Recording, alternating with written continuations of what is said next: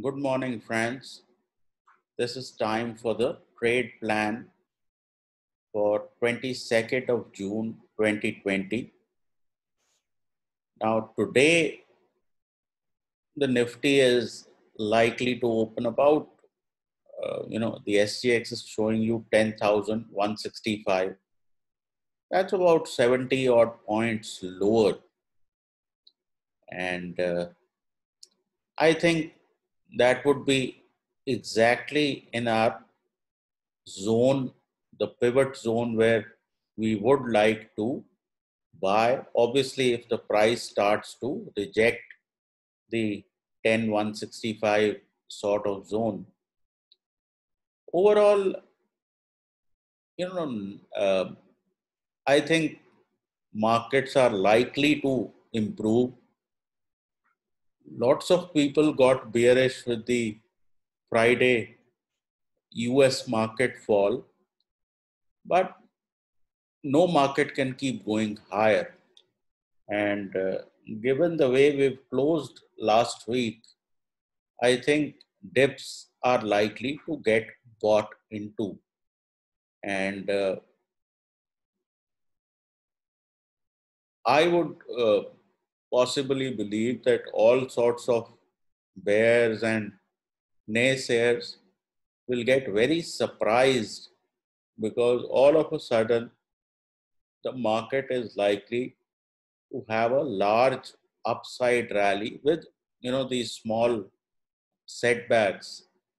So my sense is that uh, the way we are positioning you know for the last three to four sessions, you had a three is to one, four is to one advanced decline. Now that does not happen in a bearish scenario. Lots of people say it's because of reliance, etc. That we'll know because uh, leadership keeps changing around in a bullish market. And you will see that uh, other stocks will also take leadership.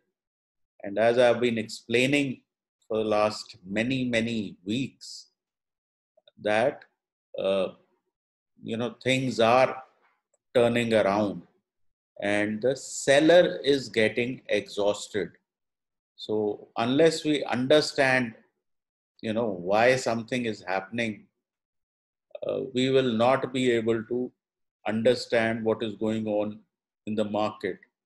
You know, all this news flow, Corona, China, India, all that is in the price. We are higher since India China happened. We are higher since uh, you know coronavirus is going up. It's very clear nobody is locking down again the problem is not corona. The problem is the lockdown which was anticipated because of corona. So still you know financials uh, you know the large heavyweights they look good. Plus what looks good are also quality mid caps you know stuff like sbi cards or godrej properties etc uh, they look good.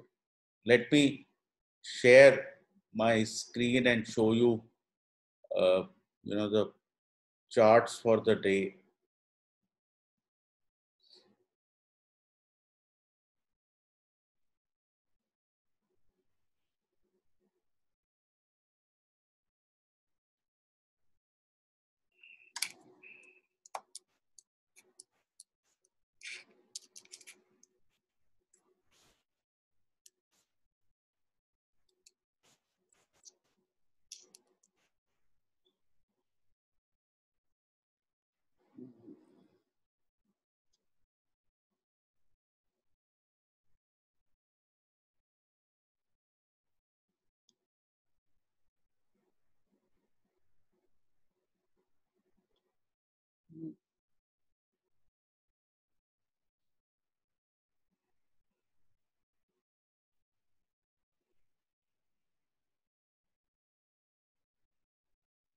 This is the daily chart of the Nifty.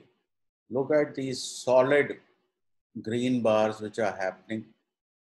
My sense is that you will soon cross this uh, 10,330 zone and then you will get the serious FOMO which will happen and uh, a rough target could be you know closer to 10,800 to even 11,000 because once you know this FOMO starts you know from 10330 we came down to 9550 that is about uh, 800 points.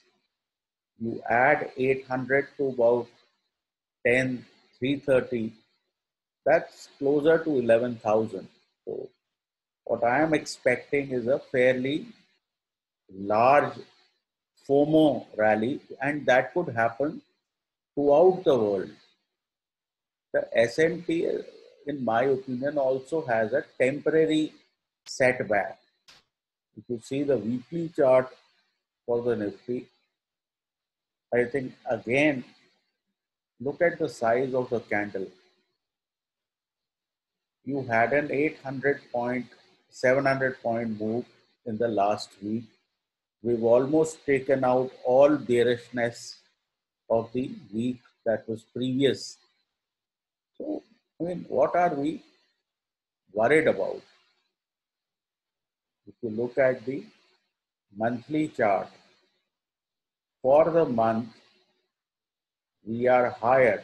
This was an inside month and we have broken out and we are now way higher. Last week's, uh, last month's close was nearer to 9,500. This month we are up 700. Okay. So I don't think there is anything to worry about. Similarly, on the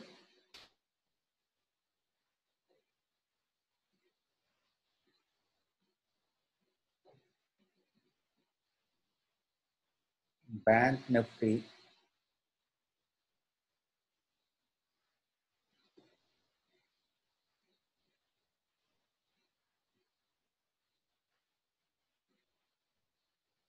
as I've been saying that the buying is returning at higher and higher levels. The moment we cross this 21,600 sort of zone, 600, 650, you will again have a ballistic move here. Again, to see the weekly chart,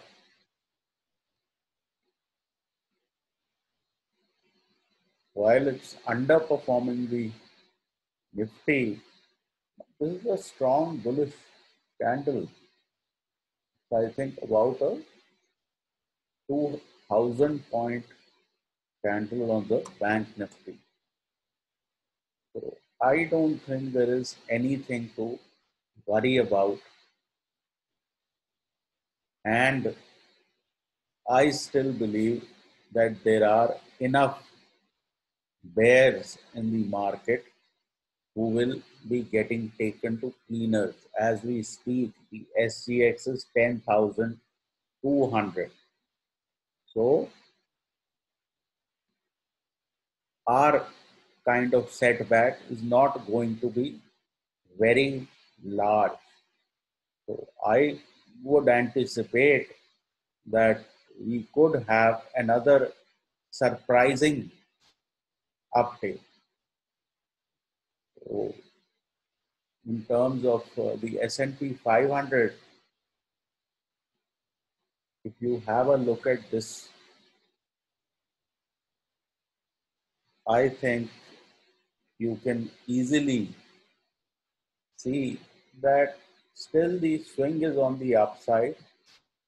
Friday, I would think we were in some sort of uh, you know, quadruple witching.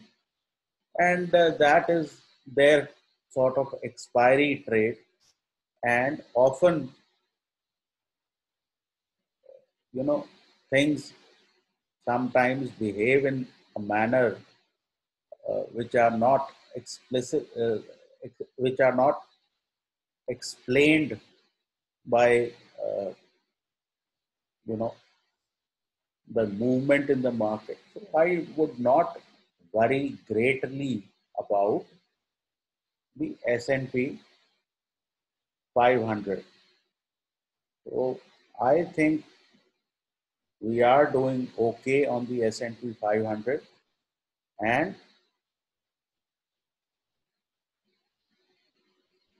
this is still a fairly decent uptrend.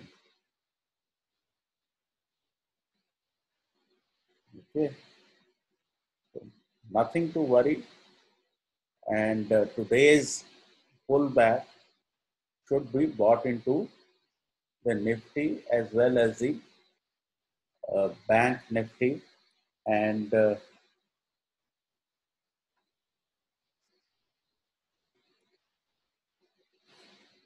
we should look for higher levels instead of trying to worry about that X, Y, or Z is going to happen. Because uh, by doing this, I mean, who will be missing out? I would think by giving all these economic theories, people who are missing out, you know, there is nothing these people know that the market does not know. And that often is the problem because you know all these issues are priced in. The market is the wisest amongst all of us. And the only thing we can do is listen to the market. If we try to impose our will a we miss out b you know the doomsdayers uh, day sayers the naysayers are always very intellectual. They like to think they are the most intelligent. Whereas the bulls, they don't use their mind. So you will see people like Nouriel Rubini, Marc Faber, uh, you know, Jim Rogers, they have all great logic. But the market does not bother about them. So that should be it for the day. I think we are looking at a very positive and a very surprising week ahead. So take care, trade well, and please consult your financial advisor.